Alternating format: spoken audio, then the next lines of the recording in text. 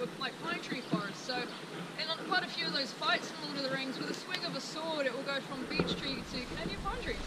and then a swing of another sword and it goes back all of a sudden. So most of the time it was these forests. And we put this here just so you guys can grab a good photo. But the reason it's so big, I mean, I know I'm five foot four, but when you put an adult in this chair, I look like a little kid.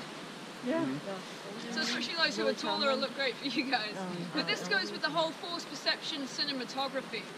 Now Peter Jackson's first movies, him as a teenager running around, he had no money, so he knew by making big things with people right in front of the camera, they're going to look a lot bigger than people standing far away from the camera.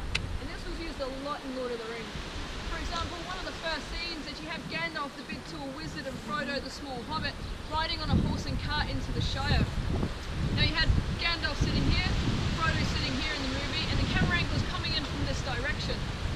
When really, Gandalf's sitting here, Frodo's sitting all the way the back of the cart. They completely cut the whole side out, shot them slightly out of focus, and that way you've got the whole big and small in front of the camera, and it naturally does it for him instead of all that